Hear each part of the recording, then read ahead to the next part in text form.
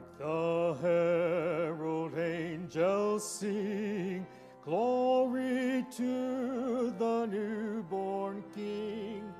Peace on earth and mercy mild, God and sinners reconciled.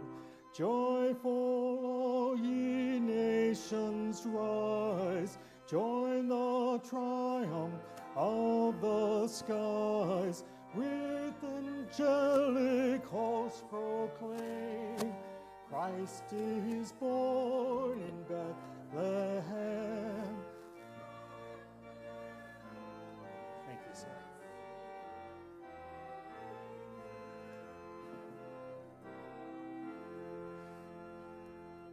Christ by highest heaven adored, Christ the everlasting Lord, late in time, behold him come, offspring of the Virgin's womb.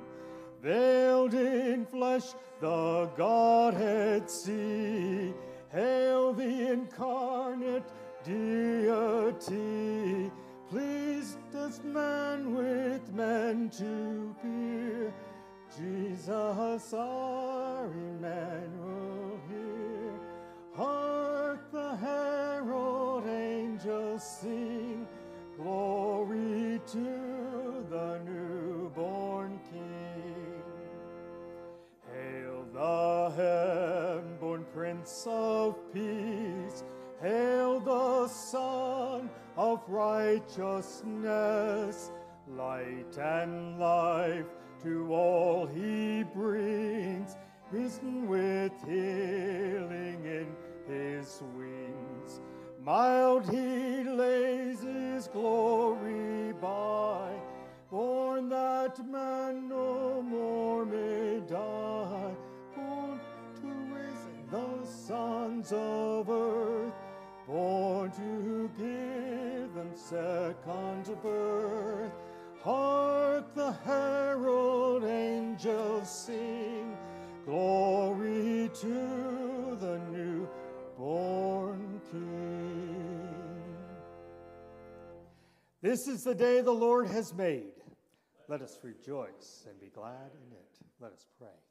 Almighty and eternal God, our Heavenly Father, we do give you thanks that you have brought us together again this morning to begin a new week, a new day, a new week.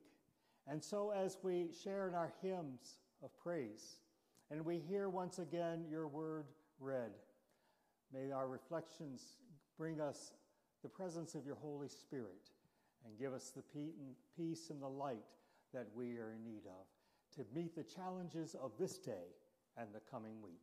This we ask and pray in the name of Jesus, our Savior, who taught us all to pray. Our Father, who art in heaven, hallowed be thy name. Thy kingdom come, thy will be done, on earth as it is in heaven. Give us this day our daily bread, and forgive us our trespasses, as we forgive those who trespass against us. And lead us not into temptation, but deliver us from evil. For thine is the kingdom, and the power, and the glory forever. Amen. You may be seated. And uh, we're going to save the, the song from Fran if you'll come read the scripture at this time. She's going to sing during my solo.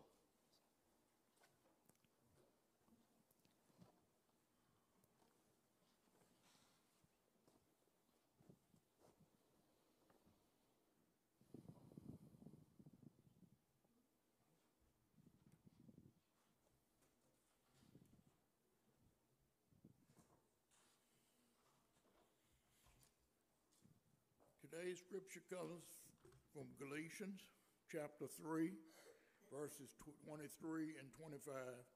It also comes from Galatians 4 4 through 7. Galatians first. Now, before faith came, we were imprisoned and guarded under the law until faith would be revealed. Therefore, the law was disciplinary until, until Christ came so we might be justified by faith.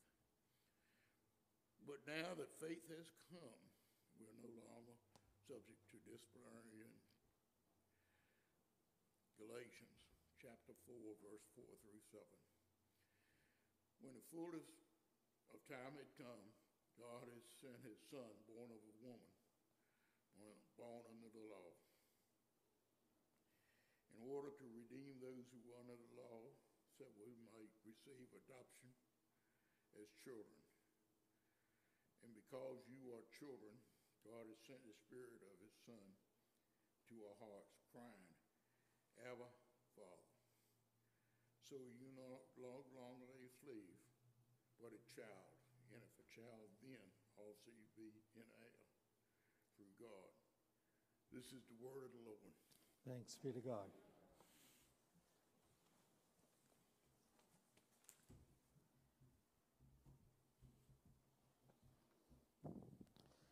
I do welcome you this morning and those who are joining us on Zoom and uh, appreciate all of you. I'm assuming those who are on Zoom, a lot of them would have been here, but apparently they overate and all that turkey made them sleepy and, uh, and just couldn't be here this morning, but uh, hope they are fully dressed online this morning and it's not just a cardboard cutout of them. So, we have those on our prayer list that uh, we want to lift up uh, on the back of your bulletin.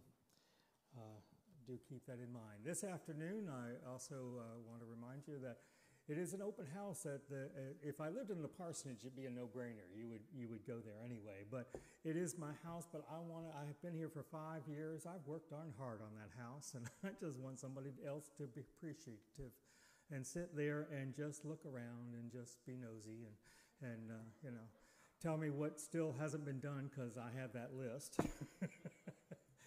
but uh, there's some treats and something, uh, some refreshments, uh, and uh, you don't have to stay long. Just come by and and uh, before the year ends, it's a good time to have some sort of fellowship. It's been a long time since we've had a church fellowship, and I hope. with the COVID going the way it is, uh, it may be a little longer, but I pray that we can get together again as a church and have some nice fellowships in the new year. 35 Church Street, right across street from the uh, high school. If there are other cars in the community, please join them in whatever festivities, and you can come to my party. Apparently, if there's anybody else out there, that's what I used to tell them in Kansas when I couldn't find it because they would tell me, well, you know, it's the third fence uh, that's painted white. And I go, yeah, I'll, be there. Let us pray. Almighty and gracious God, we are grateful. Grateful because the sun is shining and you are present, and we have our salvation through your Son, Jesus Christ. That by your Holy Spirit we are guided this morning. We have gathered here, or we have gathered over the uh, online Zoom. We are gathered as a family of yours, witnesses of your love, your grace, and your mercy. There are those on our prayer list this morning who are in need of a variety of things. There are those that are mourning. There are those who are living away and are unable to uh, worship with us. There are those connected in friendship and family that are members of other flocks, but uh, we lift them up nonetheless because they are your children. And so we ask that your Holy Spirit fill their hearts and their minds at this hour, knowing that they, they help them know that they are loved, that you're there for them, and there is always light in the day, the light of your presence. As we come to the end of another year, it is a good time to reflect upon the past. But help us not to dwell too deeply in the past. This year has brought many changes to lives, and many of our beloved have joined you in your kingdom.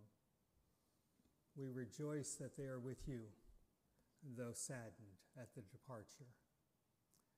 There were those who died through the lack of medical attention, There are those who were afflicted and infected by the COVID. There were those who suffered because someone took a gun and they took life.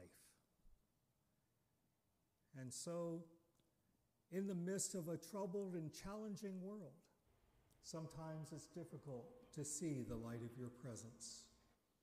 And so, once again, we ask that your spirit flow within us and around us in a way that touches our heart, touches our mind, and helps us to see your greater presence in the world. Be with the leaders of our world, for once again, there seems to be discord and threats of wars.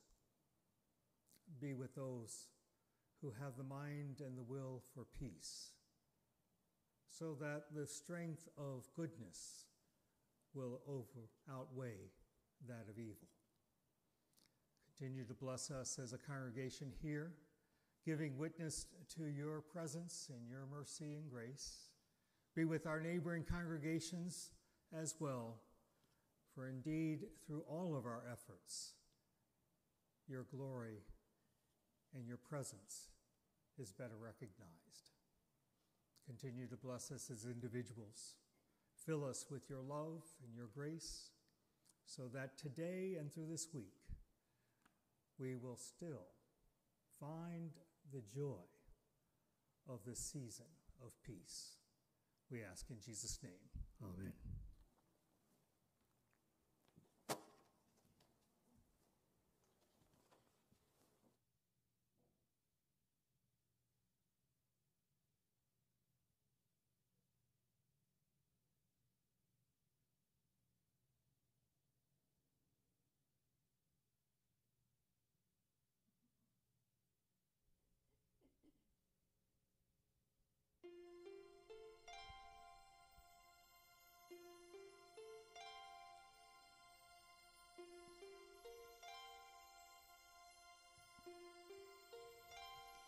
Lift up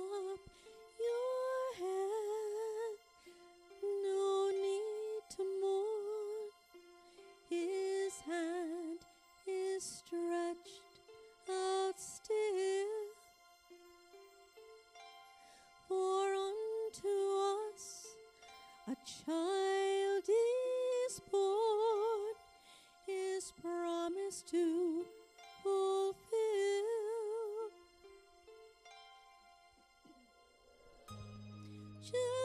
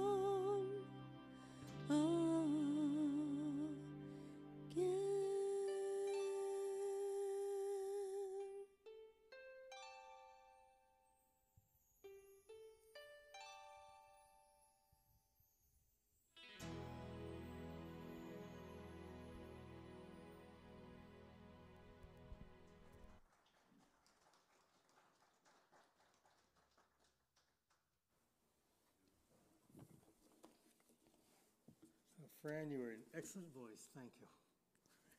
Excellent. The gospel reading this morning is from the Gospel according to John, the very first chapter.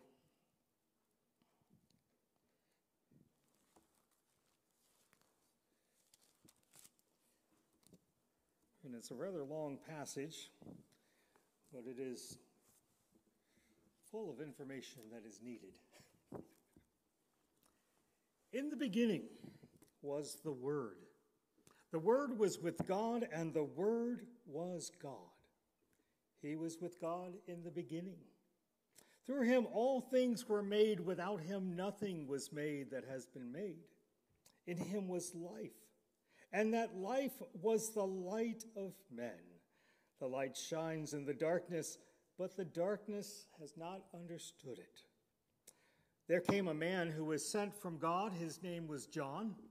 He came as a witness to testify concerning that light, so that through him all men might believe.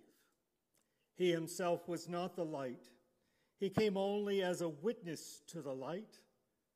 The true light that gives light to every man was coming into the world.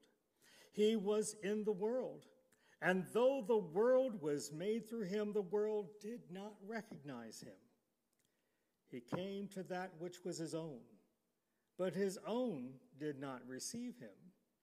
Yet to all who received him, to those who believed in his name, he gave the right to become children of God. Children born not of natural descent, nor of human decision or a husband's will, but born of God. The Word became flesh and made his dwelling among us. We have seen his glory, the glory of the one and only who came from the Father, full of grace and truth. John testifies concerning him.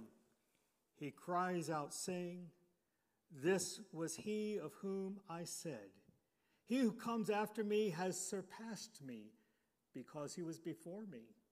From the fullness of his grace, we have all received one blessing after another.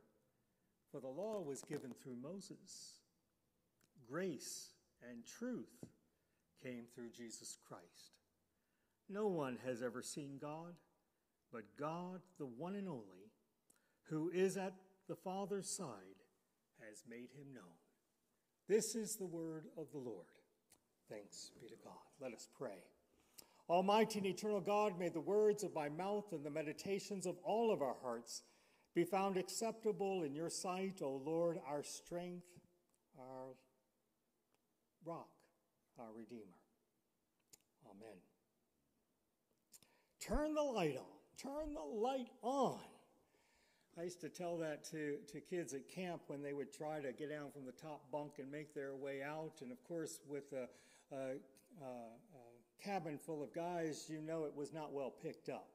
Uh, things were everywhere, and so they were tripping over things. And just to get outside and, and to go, go to the bathroom, hopefully they were going all the way to the bathroom. Sometimes it was just around the corner to the back of the cabin. But either way, they just wouldn't turn on the light and they would stumble through.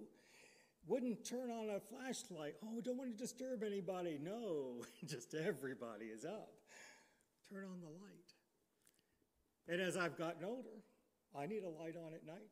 I thought I knew where things were, but that bedpost seems to move from time to time, and my feet seem to know right where to catch it and make it hard on my life. Turn the light on. Now, there are plenty of jokes that uh, have to do with light, but they're all about a light bulb. How many brave people does it take to change a light bulb? Zero, because they're not afraid to be in the dark. How many magicians does it take to change a light bulb? It depends on what you're changing it into. How many short people does it take to change a light bulb? Just the one with the ladder. Now, I picked some of the nice ones. I didn't want to pick on anybody who might be present today blondes, bald people, anybody who, you know, there are any number of light bulb jokes depending on who you want to get. Uh, there, there was one of a plumber, but I didn't want to mess up with the Jenkins family. You know, it's uh, you got to be kind at you know when you're up here. So turn on the light. We say the choice of words is important. I know they are important. To choose the right word for the right occasion, or the right way of saying things, the correct or the most exact way of saying it, takes a lot of time. I did not get a Christmas letter out this year. I usually do with all of my cards. Because I realized one year I can't just send a card. I wasn't able not to have a note, and it would take weeks to get that card out. Now, if I had grandchildren to help me address, it might work out better. But trying to do it on my own. And then I would, uh, uh, a friend of mine, uh, Andy, always sends out, he and his wife would always send a letter out, and it was to the tune of a Christmas carol their whole year.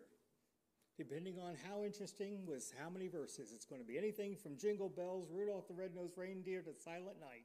And so I would attempt to do the same thing, but I couldn't get the right words.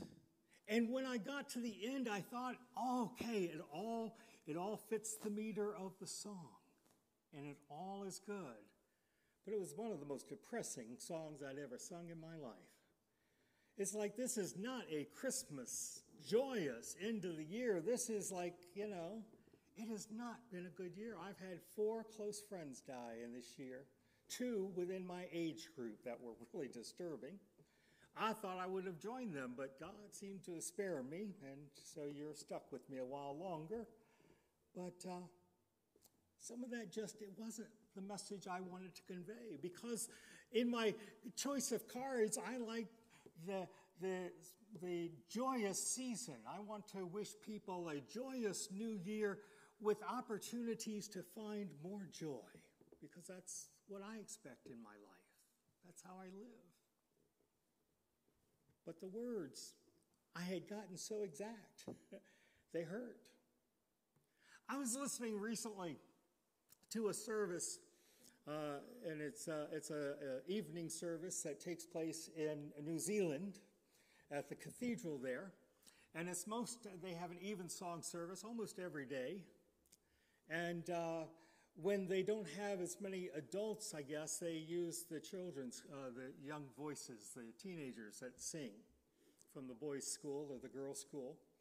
And there's one little boy who has a marvelous voice. I've heard him do solos, but he has a beautiful speaking voice too. And I, of course, the New Zealand accent, Australian accent, it's just different. It's nice to listen to every now and then. And, but when he got up in the lectern and he was reading the scripture, he, like the music he has been taught to sing, is so into the words and getting emotion out that when he was reading that passage, you brood of vipers,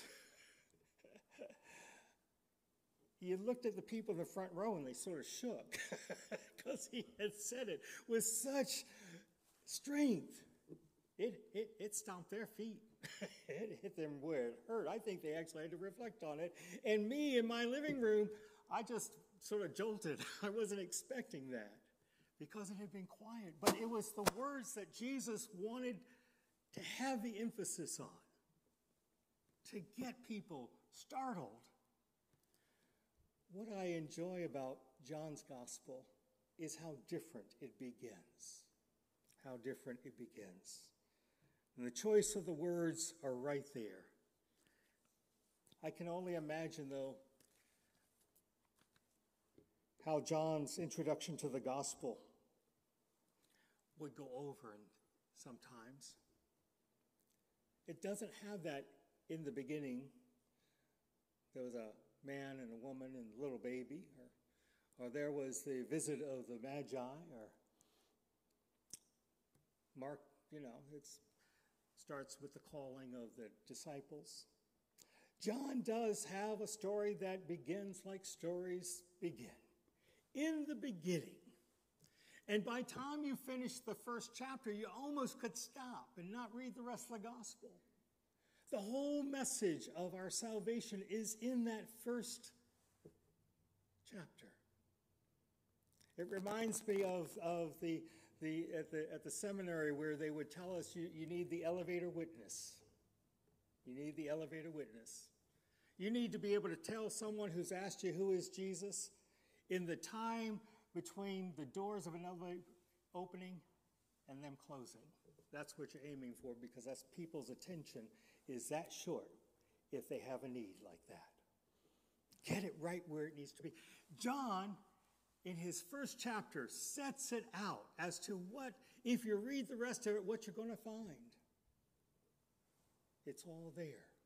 In the beginning was the Word. In the beginning was the Word. For it is the way, the truth, and, and in Scripture, it's the way, truth, life. I want today because it's about light. The way, the truth, the light. The Word was made flesh. Many stories might begin once upon a time, John says, in the beginning, and sets up what it is we're supposed to know that God had a plan from the very beginning. And it wasn't like he just happened to form another personhood. He was there in the beginning with God. He wasn't formed or unformed, he wasn't changed. He was there in the beginning, from the very beginning of God's plan.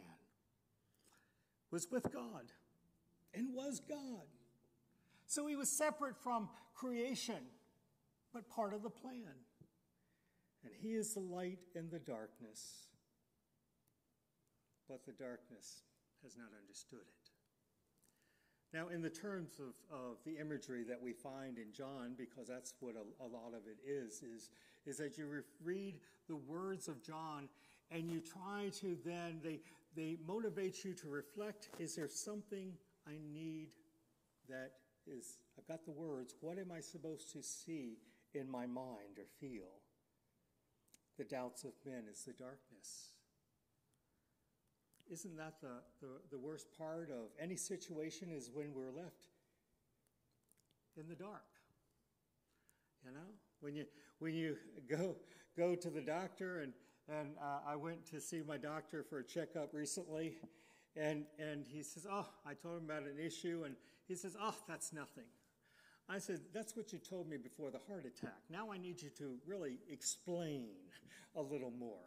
I, I want to know. Don't leave me in the dark until somebody comes with a red light and takes me off. And so he stopped. And he says, Well, yes, it does have something to do with your heart. I said, See, you're telling me not to think about what does it have to do? What do I need to do? Other than lose 50 pounds. What are the more practical things I need to do? I don't want to live in darkness. I don't want to live in doubt. I want to know the most that I can know, and, and, and the doctor's supposed to help me with that knowledge. As much as Christ comes to us to help us with the, the issues of the darkness, of our doubts in life. He is light. But the truth, John says there's a truth you need to know going to set it up. There's a legitimacy to this revelation that John is giving us. There was a man named John. Everybody knows John. We're going to find out he was John the Baptist. We, we know that John is the son of Elizabeth, the cousin of Jesus. Yes, that makes sense. But he wasn't the light. No, he wasn't the light. But he was the one to come. But what about his preaching in the desert? He was preaching this message of repentance, and yet John says, Yes, but I'm not the one. I'm just getting you started. Because you know, we can repent, but soon as we go down the street or we leave church on Sunday, by Friday, we need to, need to repent again. we may not have got the right message. We, we may have encountered some doubt, some darkness that didn't, you know, I, I just need a little more, a little better push. And so there was a man named John, sent from God. He had the truth. He called them to repent. And remember, repent just means to turn around, go the exact opposite way so that you see things in a new way. You get a new understanding. Because it was not only the, uh, the, the teachings that were uh, being challenged, it was what those teachings were causing in the people. There were some doubts. Imagine, would you? That in Jerusalem, when, when you go to Jerusalem in those days and, and, and you go up to the temple and, and the high priest is there. But most of the people of God don't live up there. Most of the people of God live out here. Now, these people up here have better water, better living conditions, cleaner. They've got good food. The ones down here over in Bethlehem and Nazareth and other places in the lower lands, they're not doing that well. Taxes are got them. It's a hard life. But the message you're getting is from the people up here. It's sort of like, uh, I don't know if you stay with the news, but it's like Prince Harry saying, if you don't like your job, quit it. he told that, and somebody goes, Has he ever worked a day in his life? you know? Where is the truth in that? But there is this in our lives. We, we know the haves and have nots. And sometimes there are some doubts. Why is that so? But I also know that there are those that are on this end of the less haves who are the most generous people in the world. In fact, that's what all the surveys say. Those with less give more. They know their neighbors. They look after their friends in the community. I'd say it's because I got no place else to go. You're pretty much you need you need the family. You need the community. It's a good thing. But they also might have doubts of why they're there. And so John says it's, it's not, it's, it's, it's the truth, it's the light. It's, we're only here to help you through your doubts. That God does care. John had limitations to his set audience. He said so. He says, I'm, I'm here to speak to you, but I'm not the light. But there is one who is coming, whose audience is going to be the world. Now, that's a big undertaking. How can that be? It's because it's the presence of God. Now, you know, going back to the Old Testament, one of the thoughts that Moses had was after I've given you years of service, God, don't you think you owe me something? And Moses says, All I want to do is see your presence. I want to see you face to face. God says, I can't let you do that. You can't stand my presence.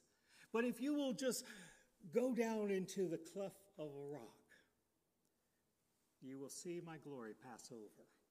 That's as close as it's going to get. And that was enough for Moses.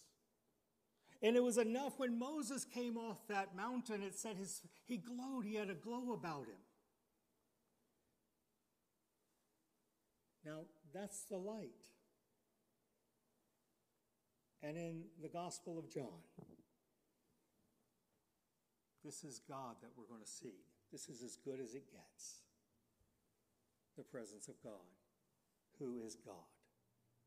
The truth, full of grace. For he is the way, the word that was made flesh, is the truth. For the man from God reminded us. And he wasn't preaching anything new, just made it simple and easy for people to understand and prepare the way for a light that would take away the darkness, that would sort of reveal the problems, to reveal the unsettledness, to reveal those who thought they had the light who didn't, but not to just leave everybody in that chaos. But light clears it up.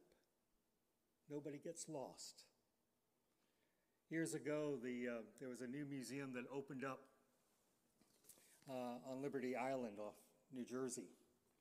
It's a science museum, and my youth group wanted to go, so I thought, this is great. We'll go and we'll have lunch and we'll have a little Bible study outside. And, And that all went well because it well, went well into this scripture about light and darkness because one of the things that had been set up was a tunnel that you went through in complete darkness. Complete darkness. There was enough room for me to crawl and my head just hit the top because this is for kids, you know. and I was last going in. Inside, you had to feel your way. And it went up, it dropped, it took a wrong turn, and you get stuck there and you had to back up, but you got people behind you. I get claustrophobic. but this was one of those moments where God says, Yes, but you're the youth director. You got to play along. so in my mind, I'm just thinking, It's for you, Lord. It's for you, Lord. Just get me through this. Just get me through this. I'll, you know, it's like, This is, this is good. This is good. It's not like my first time on the roller coaster at uh, Busch Gardens where I just couldn't stand up after I got off that thing. But the girl in front of me started to panic because she got a little behind. They didn't tell her that there was a drop off. And so she went head first. It's all padded, so she didn't hurt herself, but it scared her so bad. Now you can't back up because there's other people coming in. There's no going back. You got to keep going forward. And I said, Look, Carol, I'm right with you. I'm with you. God's with you. Whether in light or darkness, you know there is an opening at the other end. Just feel your way through. And we went through it. And after that, just simple words. Thank you, Pastor. and, and mind to God, thank you, God. we do find our way in the darkness when we're reminded that God is the presence we need. Because there is an exit, there is light. Always there will be light. Let us pray. Almighty and eternal God, giver of light, giver of nourishment to our spirit, one who guides us, one who seeks to protect us. We do give you thanks. And in this season in which we celebrate the birth of your Son, we celebrate our salvation, and we celebrate the promise that you have given to all who believe. For indeed, in this world of darkness, we will still end up in the light. And so, Help us then. That as we meet the challenges and as we see others around us who are in need of help, enable us to be part of the light that will guide them to your presence, to dispel the darkness of doubts, and to find wholeness in your love and safety. We ask and pray in Jesus' name. Amen. And now let us join in the affirmation of faith. I believe in God, the Father Almighty, maker of heaven and earth, and in Jesus Christ, his only Son, our Lord, who was conceived by the Holy Ghost, born of the Virgin Mary, suffered under Pontius Pilate, was crucified, dead, and buried. He descended into hell. The third day he rose again from the dead. He ascended into heaven and sitteth on the right hand of God, the Father Almighty. From thence he shall come to judge the quick and the dead.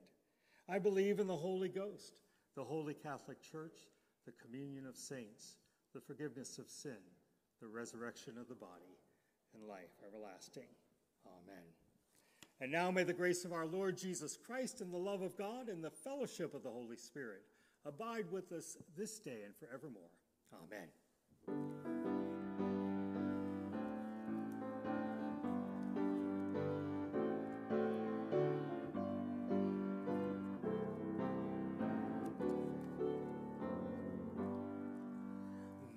There's a song in the air, there's a star in the sky, there's a mother's deep prayer.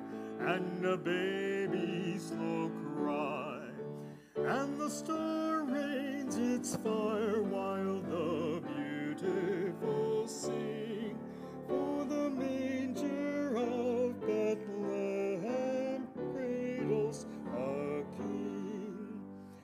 There's a tumult of joy, all the wonderful birth, for the Virgin's sweet boy is the Lord.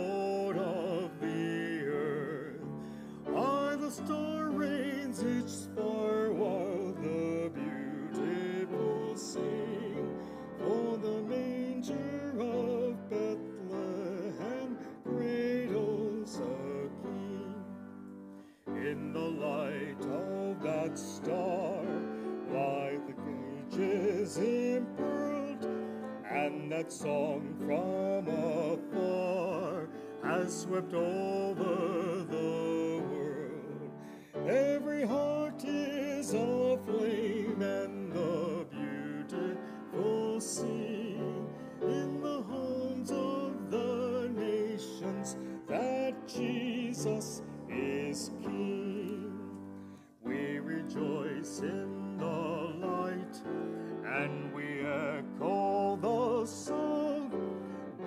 comes down through